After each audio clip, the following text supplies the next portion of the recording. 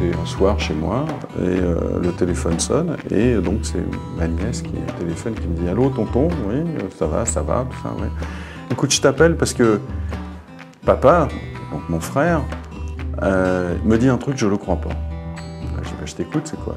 Voilà, il me dit que tu es payé à lire des bandes dessinées. Jean-Pierre Mercier a un métier pour lequel il n'existe pas de formation. Ancien bibliothécaire, journaliste, éditeur, il est l'une des références européennes quand il s'agit de parler de l'histoire de la BD. Et depuis quelques années, la Cité internationale de la bande dessinée d'Angoulême lui a donné le titre de conseiller scientifique. Alors le titre est curieux, conseiller scientifique, moi ça m'amuse, ça ne veut pas dire grand-chose, mais euh, c'est d'être une personne ressource.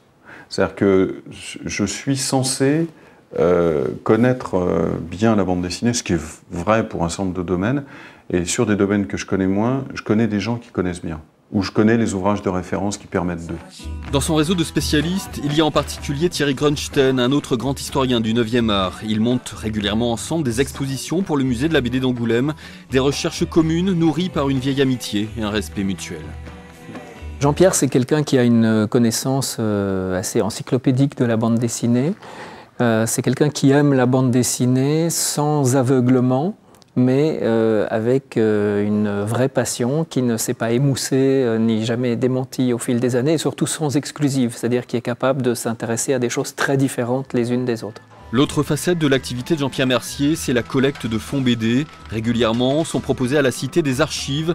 Exemple avec ce qui sera bientôt le fonds Pierre Coupry, un spécialiste de la BD décédé récemment. 5 mètres cubes de documents à trier, en vrac, un vrai trésor. Là, on a euh, des pages extraites des journaux américains, ce qu'on appelle les Sunday Pages, les pages du dimanche. Certaines de ces pages, par exemple, là, c'est euh, les Katzenjammer Kids, en français c'est Pim Pam Poum que tout le monde connaît, les deux garnements avec le capitaine et tout ça. Bah, cette page, euh, elle, me semble très bien. On en a d'autres, hein. on a beaucoup de pages comme ça, mais là c'est une collection extrêmement importante. il, est, très possible que cette page se retrouve dans la, salle d'exposition permanente pendant euh, quelques mois pour que le public se rende compte de ce que c'était que la version euh, originale américaine de Pim Pam Poum que tout le monde connaît. Jean-Pierre Mercier n'a donc pas fini d'explorer l'histoire de la BD, un vrai travail de titan, puisque cela fait finalement très peu de temps que l'on a donné des moyens à ses spécialistes pour qu'ils décortiquent cet art à part entière.